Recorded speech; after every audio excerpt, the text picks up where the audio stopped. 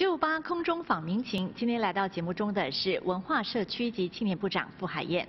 部长好，好，大家好。那接下来我们来听听呃这位听众的 WhatsApp 留言。首先就是差不多每个好歌哈都是卖相同的东西，很难找到特别跟不一样的，就是选择真的很少了。第二个是现在我们全部人更加注重健康，希望政府也是推荐，除了好的油食材方面，我们可以更进一步的用那些比较好的食材啦。是部长，我们的小贩中心确实像这位听众说的吗？选择少，您怎么看？哦，我觉得小贩中心哦，特别是那些比较呃呃有历史比较久的这些小贩中心，他们的这些食品还是很独特的。政府将会在近十年来建立十个新的小贩中心。那新的小贩中心呢，就是由个别的小贩。来经营了，那当然自己就有自己的味道啊，所以可能在这个多元化方面呢，将会比十格会更高一筹。那大家拭目以待哦。好，这位听众七六幺幺他就说，他觉得本地的小贩美食已经很难保存像以前的味道了。他认为主要是现在的食材有所改变。针对这这点呢，我们之前也做了一个街头访问，我们一起来听听一般民众怎么说。我是觉得以前的。小贩比较好吃，他们比较用功、用心做的。很多食物都是那个中央厨房交给他们，没有真正他们去做。可能因为现在物品价钱价格都比较高一些，所以可能素食上会有点降低了。那在水准上面可能会有一点点差，然后在选选择方面也比较少。都有保留到很好的味道啦，因为现在你看那些好哥的安哥安迪对吗？都是大大大概四十到五十岁的，所以他们都还在保留以前他的阿妈阿公所介绍的那些味道。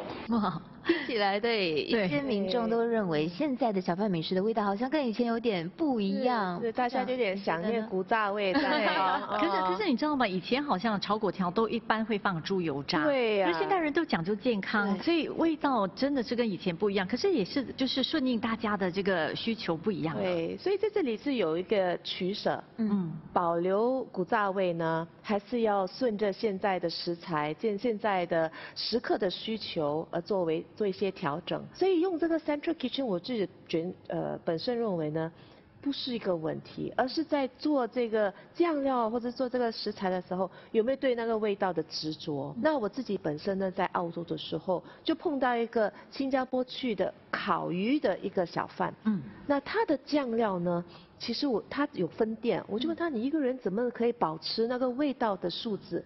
他讲我的酱料是。在 Central Kitchen 做，嗯，我自己亲身做，我要，就是他要达到他我的这个目标，那我做了之后，我就可以派到我的分店去，这个对我来说酱料是很重要的，所以我对他非常非常的有这个要求。好，那接下来我们再听听这一位听众的留言。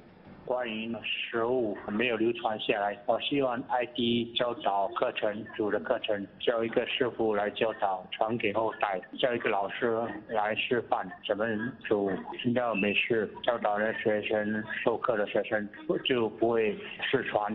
对，我觉得是不是也可以在更多的民众俱乐部主办这样的、开办这样的课程？对，那我也可以去学一下。让 更多的民众可以参与学习烹饪，不只是小贩可以。我完全赞成，因为这个烹煮的这个手艺哦，的确是需要这个教导哈。嗯。呃，那 ITE 呢，其实他们也是开始在。举办这样的这个课程。据了解，文化社区及青年部较早的时候宣布要跟国人一起的来拟定一份文化遗产计划，这是个怎么样的一个计划？其实对我们来说，文化是建立新建的一部分。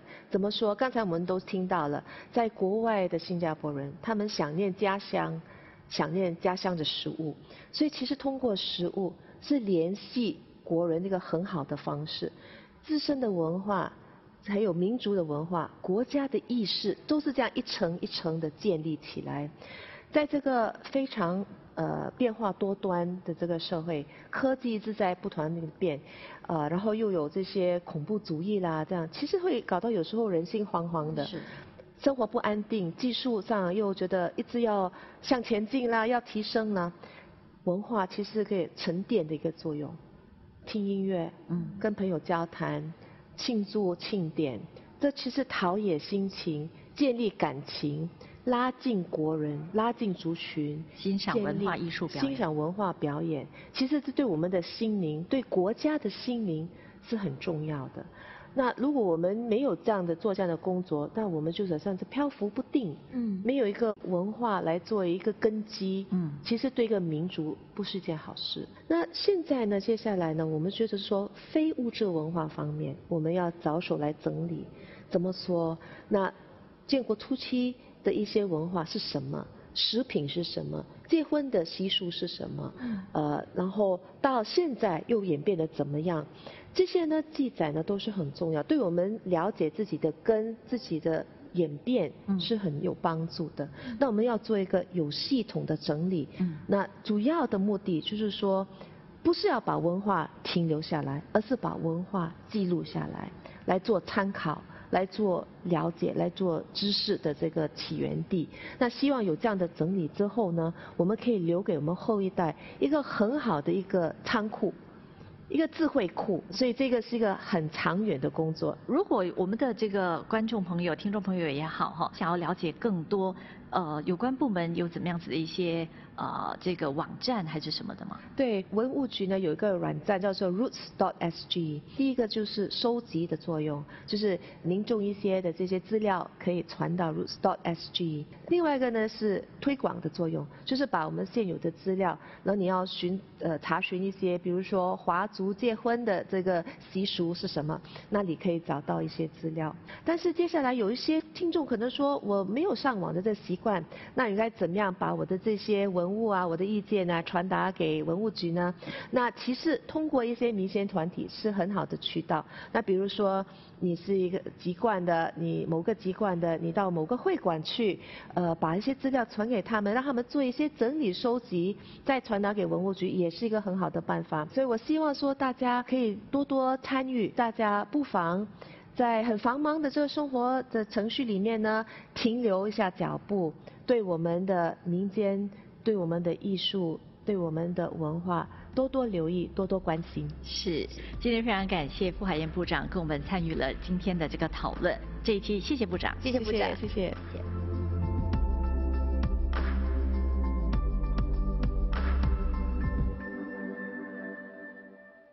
是的，我们今天部长访问请播送到这里。想了解更多这个访问的内容，欢迎到我们八频道新闻及时事节目的网站。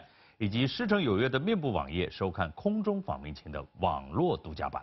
下星期的空中访民情，猫公部兼文化、社区及青年部高级政务部长沈颖将和我们一同讨论中小企业怎么应对数码科技带来的冲击。啊，今天节目到了尾声，下星期再会。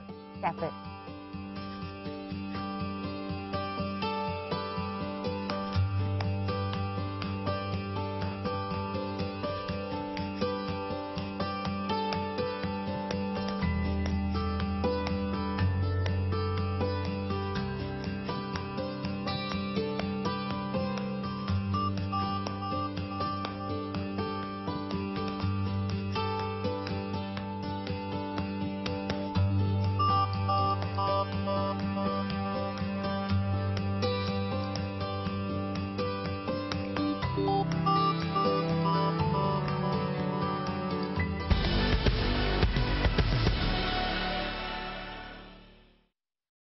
更多精彩视频，请到 Channel 8 News SG 观赏。下载 Toggle App，免费观赏更多精彩节目。